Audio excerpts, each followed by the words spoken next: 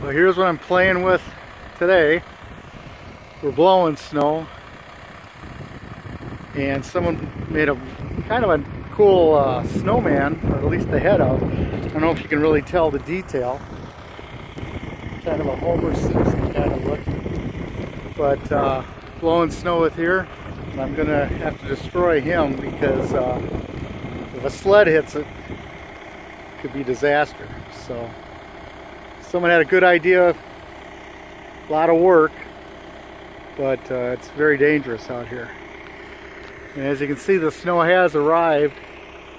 It started around uh, 10.30, I'd say.